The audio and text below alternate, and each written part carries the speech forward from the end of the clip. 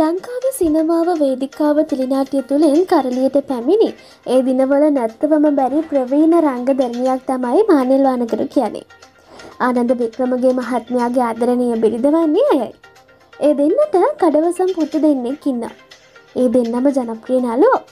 ජනත් වික්‍රමගේ නම් හැමෝම දන්නවා. නමුත් සංගීත් වික්‍රමගේ නම් හුඟක් අය දන්නේ නෑ. රංගනය අත්දාරලා පිටරට පදිංචට ගිහින් ඉන්න නිසා. ඉතිං අද කියන්න හදන්නේ කනගාටුදායක සිද්ධියක් ගැන. ආනන්ද වික්‍රමගේ මහත්තය අවුරුදු දෙකක ඉදන් රූපවාහීන් අපිට දකින්න ලැබෙන්නේ නෑ.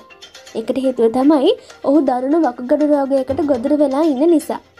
වකුගඩු දියවීමේ රෝගය නිසා එතුම ගොඩක් අසනීප වෙලා. ඉතින් ගොඩක් දුක්විදර අවසානය වකුගඩු බද්ධ කිරීමකට ලක් කරලා.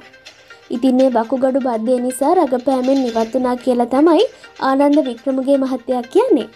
ඔබතුමාට ස්වීට් FB ඔෆිසිියල් අපි ඉක්මන් සුවය ලැබෙන්න කියලා ප්‍රාර්ථනා කරනවා.